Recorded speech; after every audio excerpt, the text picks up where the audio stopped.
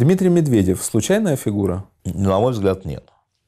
А, Дмитрий Медведев – это, а, как бы сказать, не альтер-эго. Это другая сторона Луны, Путина.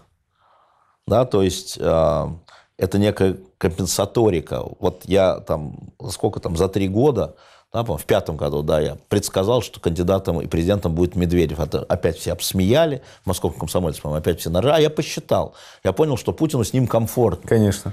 Комфортно Он не потому, предаст. Что... Нет, во-первых, он не предаст. Во-вторых, он понимает правила игры, угу. да. В-третьих, он компенсирует э, ту образовательную нишу, в которой нет у Путина. Да? И э, э, Медведевский эксперимент, э, я думаю, что для Путина он принес свои минусы, свои плюсы. Вот. Путин понял много благодаря этому эксперименту, поэтому вернул себе власть. Но э, это Медведевское интермеццо было очень важно. Я бы не стал бы сбрасывать Медведева со счетов.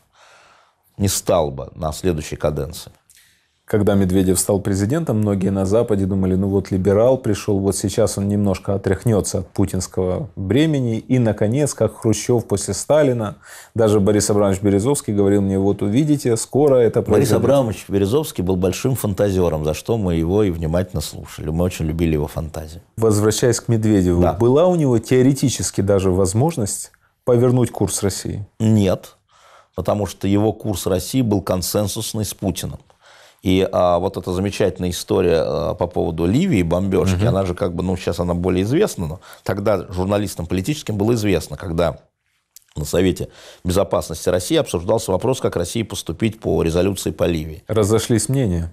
Не просто разошлись мнения, и а, Путин, премьер-министр, сказал, это есть в записях рабочих, он сказал, я считаю, что нас обманут, я считаю, что эта резолюция приведет к тому, что Каддафи будет свергнут и начнется там турбулентность. Поэтому я считаю, что мы не должны пропускать, ну, в смысле, мимо себя эту резолюцию.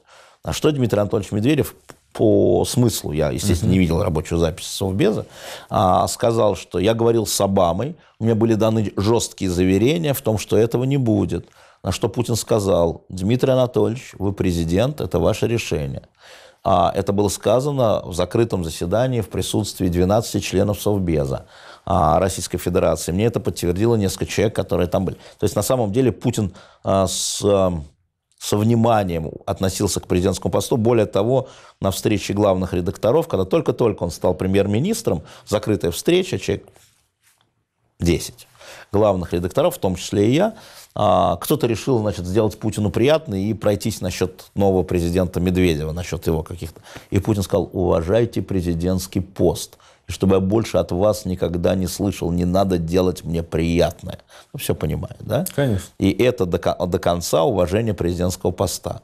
А для него это была принципиальная история, это все было консенсусно. Михаил Саакашвили говорил мне, что Дмитрий Медведев признался ему при первой же личной встрече, что он очень любит Америку и американцев. А вы не считаете его таким ярким западником Медведева? Да нет, Дмитрий Медведев очень хитрый, очень э, тонкий, очень... Умный. В, в, хитрый, я сказал. Это, это и есть умный. Да, да, это и есть умный, да. А, смотрите, он удержался, вот, да, премьер-министром в тяжелейших условиях. А, нет, конечно, не так. Дмитрий Медведев, там, конечно, больше внимания уделяет и считает, видимо, что отношения с Западом, западной цивилизацией а, не менее важны, чем отношения с Китаем. Путин считает иначе, сейчас определяет Путин, президент Путин. Поэтому ну, это в рамках одной, это расхождение в рамках одной команды. Я вас уверяю, это одна команда.